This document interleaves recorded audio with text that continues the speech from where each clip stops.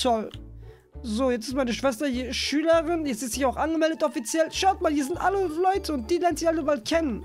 Ich möchte das Ganze nicht, weil... Weil die, die ist, die ist halt... Un, das, die ist nicht uncool, aber sie ist halt... Das ist peinlich. Hey Leute, was geht? Baby Claudio hier in Adopt Me City, Freunde. Ja, meine Schwester ist da und meine Schwester bleibt auch erstmal hier und sie ist ganz schön nervig. Ich weiß, ich heiße zwar der nervige Claudio, aber meine Schwester ist um einiges nerviger als ich. Liegt das in der Familie, dass wir alle so nervig sind? Ich glaube, da, ich glaube, da, da ist irgendwas, äh, ja. Na gut, das macht mir zu denken, aber gut. Freunde, ihr seht schon hier, ich bin gerade bei Pet Trainer Shane und zwar Shane bringt mir jetzt bei, also Pain trainiert jetzt mein Pet, mein Bett. Das muss auch noch irgendwann zum Leon werden. Das heißt, ich verbringe viel Zeit damit. Meine Schwester hat jetzt ein eigenes Haus, was eigentlich nicht so toll ist, weil ich muss das bezahlen. Ich habe jetzt mein altes Haus geschenkt. Ich hoffe, sie, hat, sie lässt das Haus auch so und streicht nicht die Wand oder so, weil das wäre nicht so cool. So, Shane, ja, bring mal jetzt ihm was bei. Was bringst du ihm bei? Sit, okay, setz dich im Bett. Du musst, du musst auch zuhören. Ich habe noch keinen coolen Namen für mein Haustier. Für die Fledermaus. Was denkt ihr? Schreibt's gerne in die Kommentare, ob ich da vielleicht einen coolen Namen geben kann. Ich meine, mir fällt bis jetzt keiner an. Batman? Nee, Batman ist nicht so cool. Ist eine Fledermaus. Hey Leute, hier ist Mara und wisst ihr, ich will ja in Adopting City bleiben. Aber dafür muss ich das erstmal noch mit meinem Bruder Baby Claudio abklären. Aber ich glaube, der ist überhaupt nicht begeistert davon. Und natürlich muss ich auch in die Schule gehen, wenn ich in Adopt Me City wohne. Also ich meine, das kann ich ja dann nicht vernachlässigen. Und deshalb gehe ich jetzt direkt erstmal in die Schule und versuche mich dort selbst anzumelden. Und wenn das nicht gehen sollte, dann muss Baby Claudio das für mich übernehmen.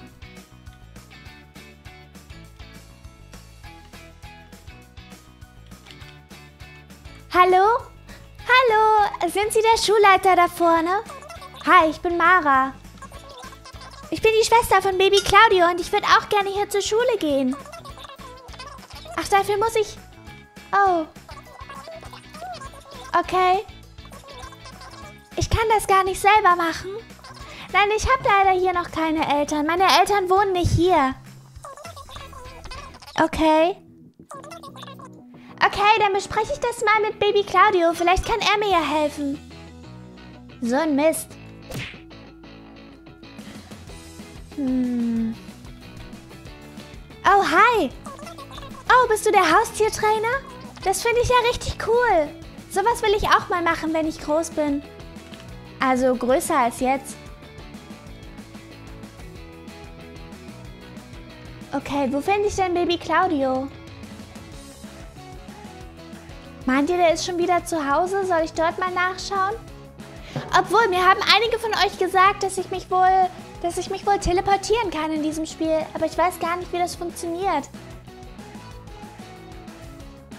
Hallo? Wo finde ich denn jetzt sein Haus? Ist das hier? Oh, ich glaube, ich habe es gefunden. Baby Claudio? Bruderherz! Oh nein, wenn ich das schon wieder höre! Ich habe keine Lust auf dich! Hey Bruderherzchen, Mara Ja, hier. deine Stimme erkennt man von 500... Deine Lieblingsschwester. Was, da, dein Pinguin sieht lustig aus mit der Kapuze, wenn er so über den Boden schleift. Ja, ich weiß. Äh, ja, aber der, der ist schmutzig. Ziemlich der, süß, der, der, oder? Du musst dich besser um dein Haustier kümmern. Schau mal, der ist müde und der ist schmutzig. Es tut mir leid, ich bin noch nicht so lange hier. Ich kann das noch nicht ja, so du bleibst, gut. Du bist nicht lange hier und du bleibst auch nicht lange hier. Doch, ich habe doch schon gesagt, ich will in der Dublin City bleiben. Mara, äh, aber da komme ich auch direkt zum was Thema. Was für ein Thema? Nein, kein Thema. Du bleibst nicht hier, egal was du jetzt sagst. Natürlich bleibe ich in der Dark City. Äh, du kannst mir das nicht verbieten. Mara, wir hatten, wir hatten schöne Tage gemeinsam und ich habe dir Sachen gekauft, du hast mich geprankt und wie, es hat sich angefühlt wie damals, als wir noch zusammen waren, äh, als wir zusammen gewohnt haben, meine ich. Äh, ja, wie Bruder und Schwester natürlich, aber jetzt äh, kannst du auch wieder gehen. Claudio. Ja, was ist denn, Mara? Was möchtest du denn? Soll ich deinen Spitznamen auspacken? Äh, äh, Mara, okay, okay, okay. Äh, Mara, äh, äh was möchtest du? Äh, ja, wie kann ich dir helfen? Mhm. Ich dachte mir schon, dass wir hier auf einen Nenner kommen. Also, pass auf folgendes. Ich war gerade in der Schule und ich wollte mich dort anmelden, damit ich auch in die Schule gehen kann. Aber mir wurde gesagt, ich kann das gar nicht alleine. Das müssten meine Eltern machen. Aber du weißt doch, dass unsere Eltern hier gar nicht wohnen. Und Mr. Fissy hat dann gesagt, dass du das auch für mich erledigen könntest. Deshalb dachte ich, du könntest mich einfach einmal in der Schule anmelden. Okay, Denn Mara. Schulbildung ist wichtig, sonst ende ich ja so wie du. Okay, Mara, äh, das Ganze ist natürlich toll. Aber Mara, ähm, Mama und Papa sind davon, glaube ich, nicht so begeistert, weil du kannst dich einfach hier wohnen. Mama und Papa finden das toll. Die finden sowieso, dass wir viel mehr Zeit zusammen verbringen sollten. Ja, haben wir, Wir doch jetzt doch- die letzten Tage. Wir sind doch ein riesengroß, ein großer Unterschied, das weißt du ganz genau. Und wenn wir Zeit miteinander verbringen, dann ergänzen wir uns perfekt. Mm. Also Mama und Papa sind total begeistert davon, dass wir mehr Zeit miteinander verbringen, Baby Claudio. Ja, du bist nervig und ich bin halt der Coole von uns beiden. Das stimmt. Wir sind halt du unterschiedlich. bist absolut nicht cool, Baby Claudio. Ja, und was, was, nein, du kannst nicht hier wohnen, das geht nicht. Äh, Du bist, erstens, du bist eine Schwester, das ist ultra peinlich. Ich will auch nicht in deinem Haus wohnen. Ich will ja nur bei dir zur Schule gehen. Jetzt beruhig dich doch mal. Ja, und Du du, müsstest mich einfach dort anmelden. ja, warum muss ich das denn machen? Du kannst doch Mama und Papa Ach komm fragen. schon, jetzt sei doch kein Stinkstiefel. Ja, bin ich nicht, aber hm, das Ganze ist doch mit Mama und Papa abgesprochen. Ja. Also ich soll jetzt in die Schule gehen und dich anmelden, damit du in dieselbe Schule gehst wie ich und dieselben Freunde dann hast wie ich. Offensichtlich ist es jetzt auch mal bis zu dir durchgedrungen, was ich von dir verlange. Du warst schon Ja, immer aber- nicht so, nicht so wirklich der Hellste, weißt du? Ja gut, dann warte hier, dann kümmere ich mich Aber darum. sei nett zu Mr. Fissy. Mir schien so, schien so als wäre er ein echt korrekter Typ. Ja, wohin willst du denn? Bleib, bleib doch bei mir zu Hause. Wohin willst du? Okay, dann bleibe ich halt bei dir zu Hause. Ach Mann, Freunde, jetzt muss ich mich darum kümmern, dass Mara hier wohnt. Aber ich will das Ganze nicht, weil das ist... Ich meine, gut, sie ist nicht allzu peinlich, aber es ist nicht cool, dass meine Schwester hier wohnt, weil dann lernt sie meine Freunde kennen und dann ist das so peinlich, weil sie ist schon ziemlich nervig. Ich meine, ich will nicht... Ich, ich verbringe halt nicht so gerne Zeit mit ihr, weil sie ist schon nervig. Und ihr habt ja gesehen, sie scammt mich noch mehr als ich andere Leute. Was ich nicht tue außerdem. Ich scamme nur, ich scamme nur meine Freunde. Baby René, den scamme ich. Aber das machen wir so als freundschaftlichen. Das machen wir so als freundschaftlich. Okay, äh, jetzt bin ich hier. Pet Friend erscheinen. Ja, zu erscheinen will ich gar nicht. Ah, ich will das Ganze doch gar nicht. Jetzt muss ich dich anmelden. Hallo, Mr. Fissy. Ja. Ach, Mara war schon hier. Ja. Ja, Mr. Fissy, ich weiß, sie ist ziemlich nervig und meine Schwester. Was? Nein, deshalb heiße ich nicht der nervige Claudio. Nicht, weil wir alle in der Familie nervig sind. Nur sie ist nervig. Ja, Mr. Fissy. Äh, ich muss leider Mara auch hier auf der Schule anmelden. Äh, aber Mr. Fissy, können wir vielleicht so eine Regelung machen, wenn äh, Mara zu nervig wird, dass sie dann sie von der Schule verweisen, sodass sie dann wieder zurück nach Overlook Bay ziehen, äh, hin muss? Nein, das ist nicht möglich. Für, für alle gelten die gleichen Regeln. Oh, Mr. Fissy, ich dachte, ich dachte, wir kennen uns länger. Na gut, Mr. Fissy, ja gut. Dann ist jetzt Mara eine offizielle Schülerin auf der Schule hier. Ja gut. Toll. So, jetzt ist meine Schwester hier Schülerin. Jetzt ist sie auch angemeldet offiziell. Schaut mal, hier sind alle Leute und die lernt sie alle bald kennen. Ich möchte das Ganze nicht, weil... Weil die ist, die ist halt... Un das, die ist nicht uncool, aber sie ist halt... Das ist peinlich.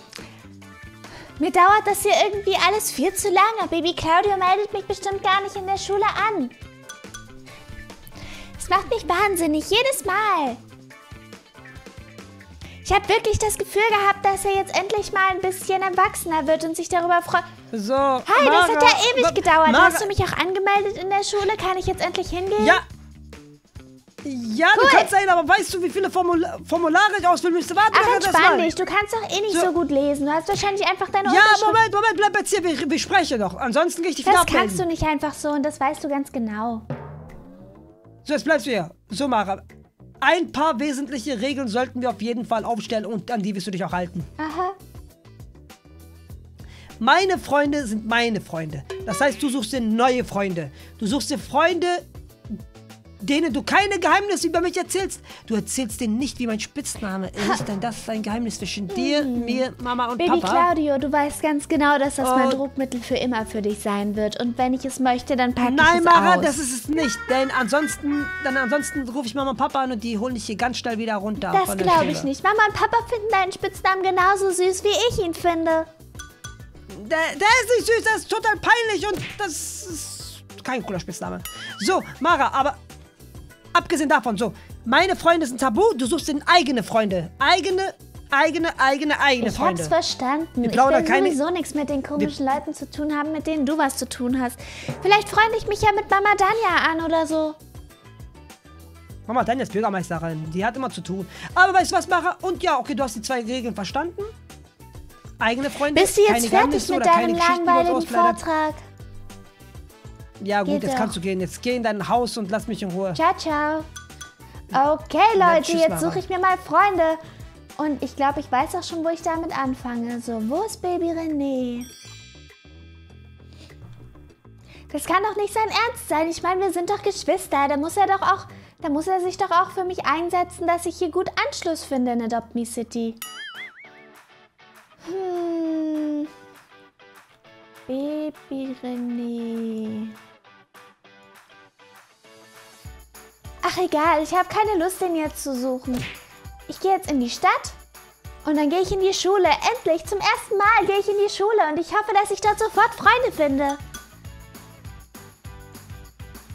Hey, Jenny! Wollen wir vielleicht befreundet sein? Nicht?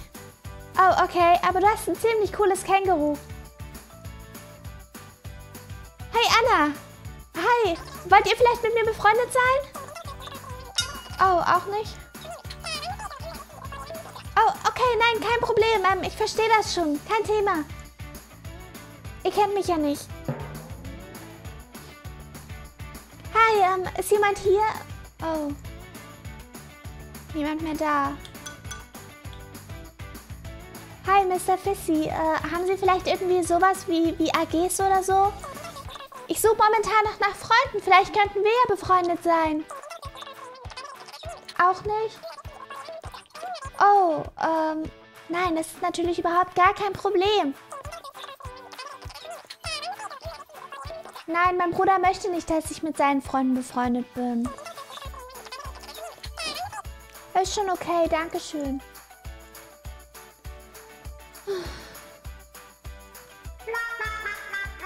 Mann, Leute, das war ja echt ein totaler Reinfall. Also für so einen ersten Schultag muss ich sagen, war das schon echt ziemlich blöd. Vielleicht finde ich ja irgendwo, irgendwo anders in Adopt Me City jemanden, der mit mir befreundet sein will. Wollt ihr vielleicht mit mir befreundet sein? Ich weiß, Baby Claudio ist nicht so besonders begeistert von mir, aber das liegt nur daran, dass wir eben Geschwister sind. Da ist das manchmal so. Aber eigentlich bin ich ganz nett und ich habe eine ziemlich hübsche Haarfarbe. Das ist meine Naturhaarfarbe, wollte ich nur mal dazu sagen. Hm. Also ich glaube, ich suche einfach mal weiter hier in Adopt Me City noch nach Freunden, aber momentan sieht es, glaube ich, ziemlich mau aus. Hier ist ja auch überhaupt niemand unterwegs. Oh, ich könnte mal noch auf diese Adoptionsinsel dort schauen. Dort sind immer viele Leute und auch viele coole Leute. Hallo?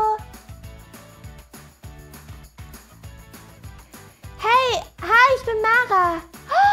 Oh, cool. Guck mal, die haben ja alle ein Schweinchen. Ein Schweinchen. Oh, wie süß ist das denn? Hi, kann ich, kann ich mit euch befreundet sein? Oh, nur wenn ich ein Schweinchen habe. Oh, oh. Okay, kein Problem. Du hast ja einen coolen Dino. Der ist ja total aus Knochen und so. Oh, du redest gar nicht mit mir. Nein, äh, überhaupt gar kein Problem. Leute. Okay. Ähm, okay, wenn, wenn jetzt niemand hier mit mir reden möchte, dann, äh, dann gehe ich, glaube ich, einfach mal, oder? Oh Mann.